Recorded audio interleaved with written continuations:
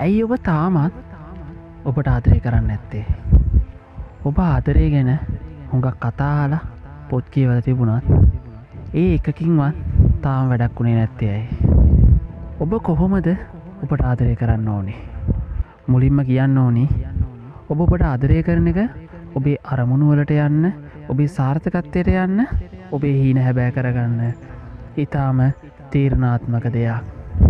තමන්ට ආදරය කරන්න ඇතුව අපි කොච්චර හීන පස්සෙ ලෙව්වත් වැඩක් නෑ ඒ මුණාම අපට හිතෙන්නෙම ඒ අපරාධයක් පාඩුවක් කියලා.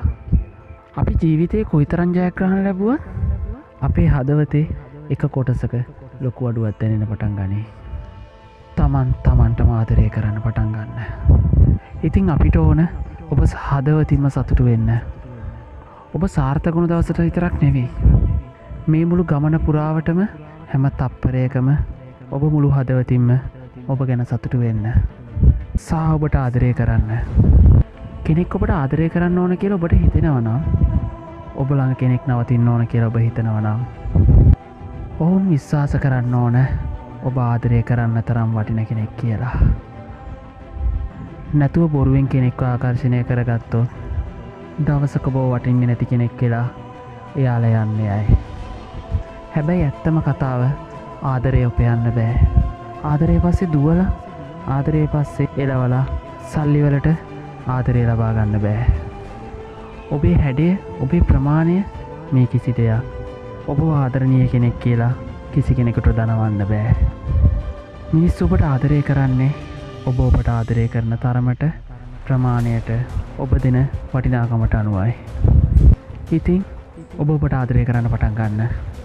අන්න එදාට ඔබ ගේම් චේංච කෙනෙක් බවට පත්තේ මොකද ඔබේ ජීවිත කාලෙම ඔබේ ළඟ රැඳෙන එක මායුදය ඔබේ මාතරයයි ඒ ආදරය ඔබට කවදාවත් අම්මලි හැඟීමක් තනවන්නේ නෑ ඔබේ ආදරය වෙනුවෙන් ඔබට අමුතුවෙන් හැඩවෙන්න ඕනෙ නෑ ඔබ ඔබම වෙන්න. ඔබ දන්නවද මේ ලෝක හරි අසාධාරණයි? ලෝකපට නිතරම පෙන්නන්නේ සර්ව සම්පූර්ණ මිනිස්සු. හැබැයි ඒක බොරුවා ඔබ දකින ගොඩම් මිනිස්සු ලස්සනයි හැඩයි සර්ව සම්පූර්ණයි කියල හිතුවට ඒත් එහෙම නෑ.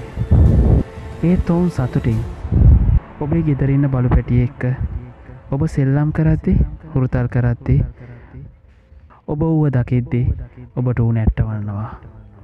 ඒත් ඔබට ගැහුවොත් බැන්නොත් එදාට ඌබෝ දකිද්දි ඇඳ යට මේසයට හැන්ගෙන්න්න ගන්නවා.